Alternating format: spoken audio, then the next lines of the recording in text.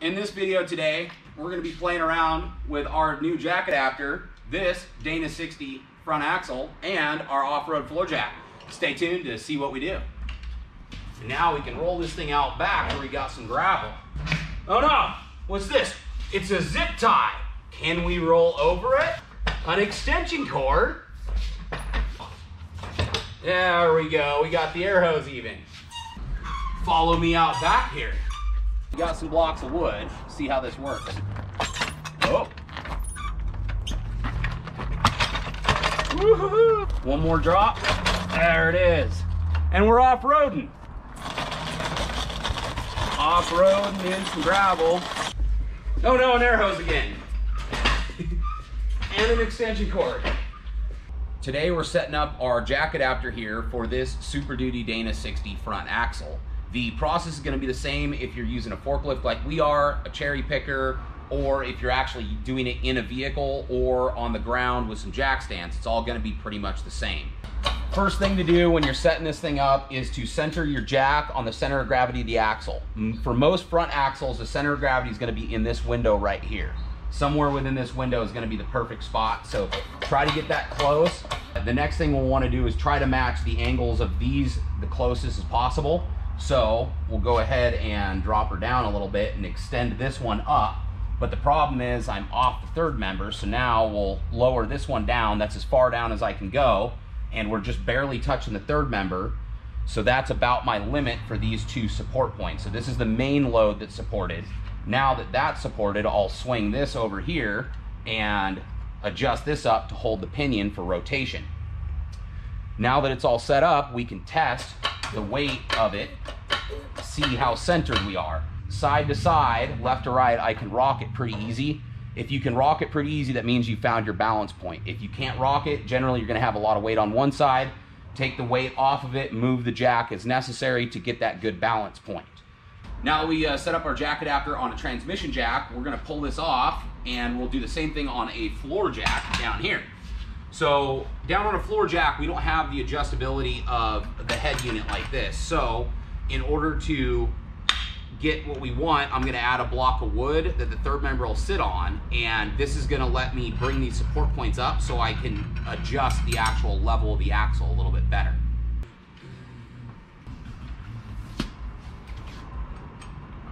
Okay, so I think we got this adjusted. Let's see how it sits here.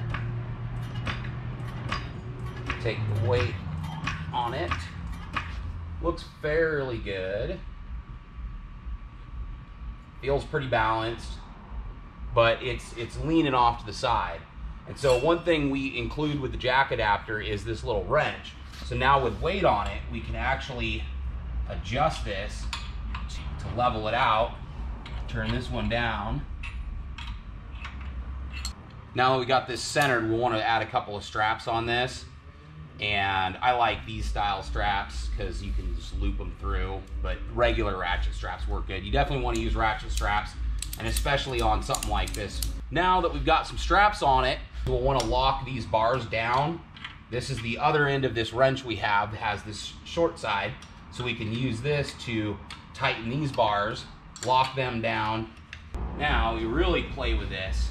See how, see how it feels side to side. It's just, this is like perfectly balanced. It is just wiggling around on its own. We're gonna try the next thing. We're gonna go off-road with the off-road floor jack here and the jack adapter.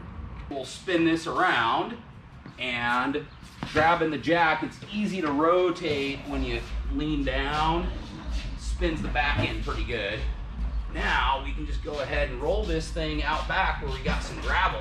See how that does. Oh no, what do we got back here? It's a zip tie. Can we run over a zip tie? Oh, made it over the zip ties. What's next?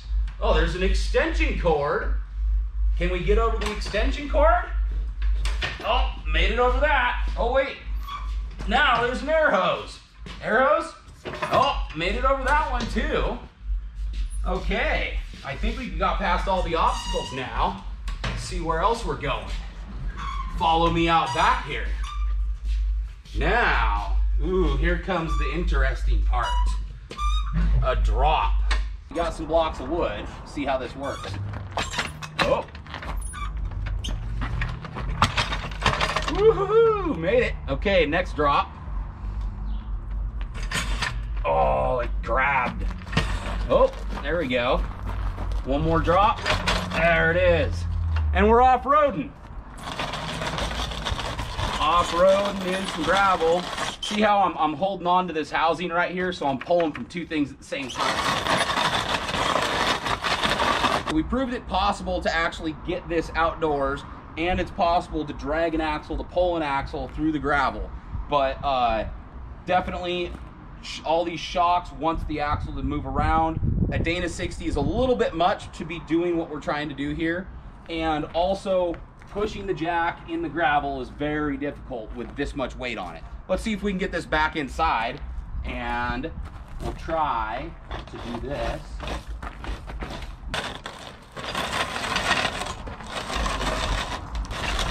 by myself. Is it possible? Whoop. Got halfway. Okay, try to do. Okay, hold up. Go back a little bit. Turn, and line up. Ready? Two, three, go. Oh, there we go. Okay, so two people are necessary for certain jobs. But it's still on the jack now. And we'll just roll around. Oh no, an air hose again. and an extension cord. And zip ties. There's just stuff everywhere. Actually, it caught a zip tie. It caught a zip tie. Look at that. It's oh, not rolled there it goes. Now it rolled over it. It was just a thick part of the zip yeah, didn't have enough weight on it. Yeah, so now come look at this. All that shocking, see this? My block moved. So this whole, this moved again. It's still sitting on everything, but it is, you know, definitely sketchy. We like to be sketchy here at 911 Motorsports and push the limits of things so you don't have to be calling 911 when you do things the wrong way like we do. We'll do it for you. Subscribe to our channel, like it if you like it, share it to your buddies, and uh, stay tuned for the next one so you can stay up to speed with 911.